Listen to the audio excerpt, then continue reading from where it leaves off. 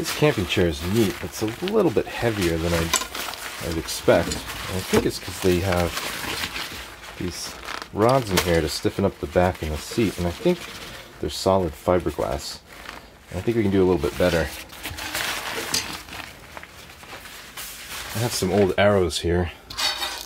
These ones are aluminum. I thought I was going to use these because they're high strength aluminum. Um, but I still have quite a few good ones. These are the only two bent ones or broken ones that I have.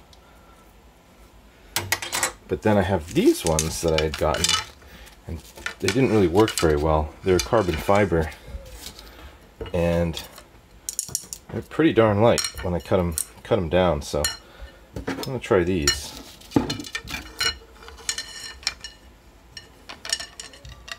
Oh, yeah, I can't do this one-handed.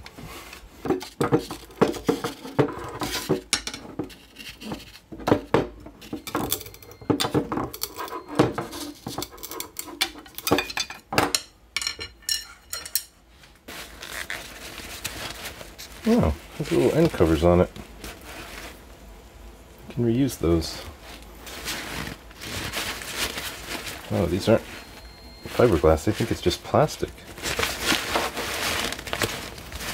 Ah, let me get this out.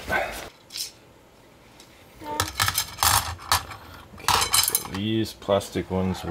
Oh, sometimes I'll put me back to bed We're- because I'm sleepy. 92, 93 grams. These ones.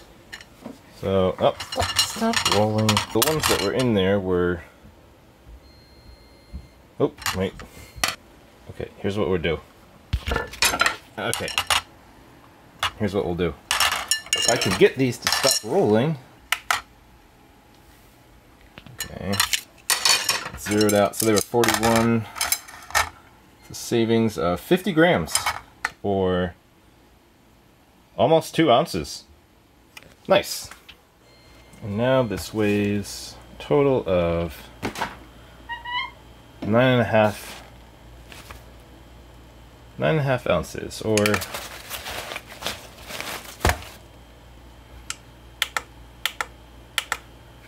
two hundred seventy-two grams. Don't feel quite as bad bringing this chair now.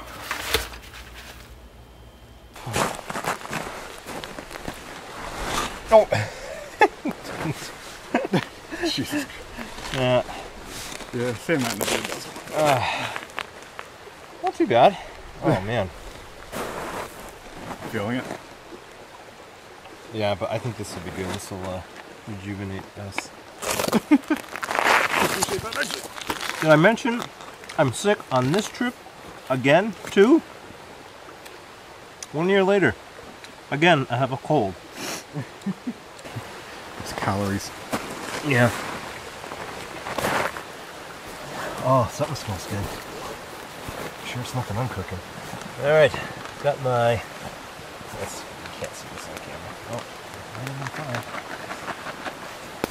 Let's see how it does.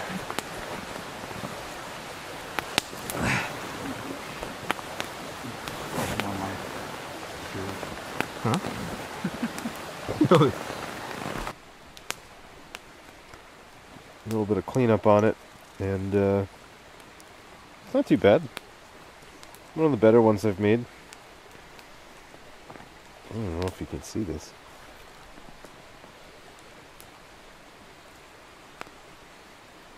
I think the last log is on the fire.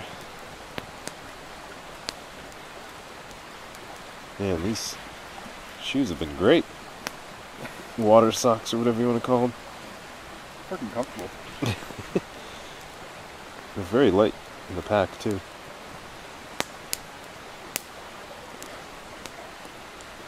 Alright. Almost time for bed.